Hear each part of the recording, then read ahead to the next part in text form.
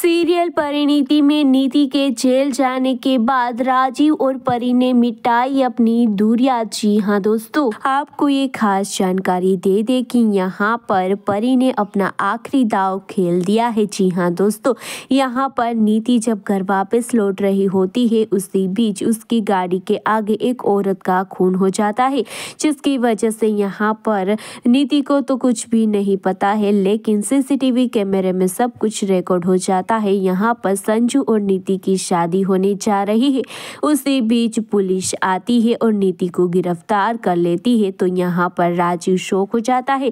लेकिन राजीव नीति को रोकने की कोशिश भी नहीं करता है। यहाँ पर नीति को पुलिस अरेस्ट करके ले जाती है और कहती है कि, नीति जुनेजा, आपने मर्डर किया है, जिसके केस में आपको गिरफ़्तार किया जा रहा है। यहाँ पर नीति तो सलाखों के पीछे हो जाएगी, लेकिन परी का सच राजीव के सामने आ जाएगा।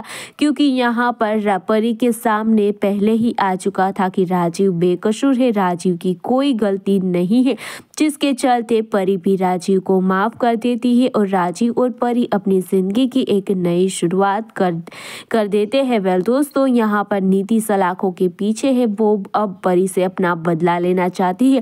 तो वहीं दूसरी तरफ़ परी और राजीव ने कर ली है शादी और अपनी ज़िंदगी की, कर ली है नई शुरुआत।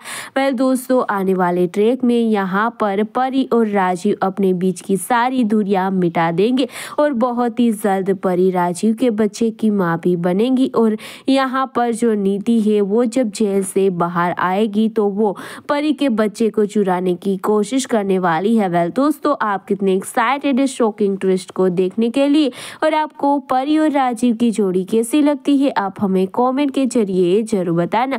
फ़िलहाल के लिए बस इतना ही और आगे की अपडेट जानने के लिए लिए जुड़े रहिए। सिर्फ़ और सिर्फ़ हमारी चैनल एवी सीरियल स्टार के साथ।